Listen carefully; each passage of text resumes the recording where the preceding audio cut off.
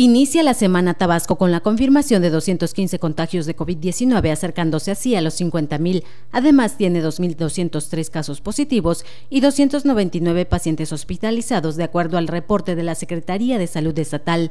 La dependencia señala en su reporte técnico que el acumulado de casos es de 49.248 en defunciones, la entidad registra tres en las últimas 48 horas, con lo que la suma llega a los 3.415. En los casos activos disminuyeron 120 en las últimas horas, por lo que son 2.203, mientras que en hospitalizados aumentaron 6, por lo que este lunes hay 299.